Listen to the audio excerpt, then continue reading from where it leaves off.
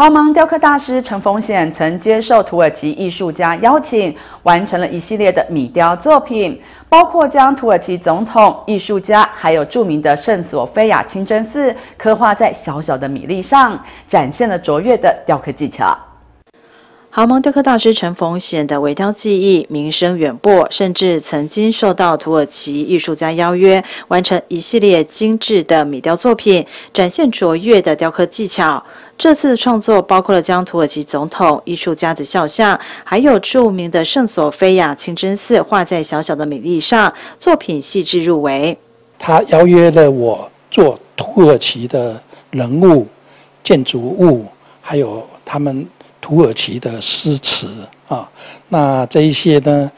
让他感动。台湾的我可以把他们土耳其国家的精神文化，把它呈现出来。陈逢显的米雕作品，每一件都耗费了大量的时间和精力，要在只有几毫米大小的米粒上，精确地刻画出细腻的线条和文字，真的是相当不容易。透过这次合作，更再次成功展现了艺术无国界的精神。立足台湾，放眼在全世界。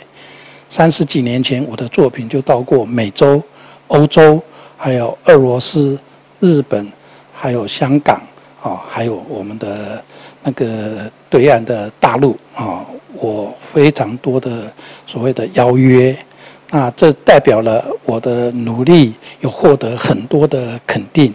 陈风险强调，这不仅仅是一次雕刻技术的呈现，更是文化交流的重要机会，让世界了解微雕技艺的独特魅力。他也期盼能够向世界传递台湾的艺术价值，为台湾艺术在国际舞台上开创更多可能性。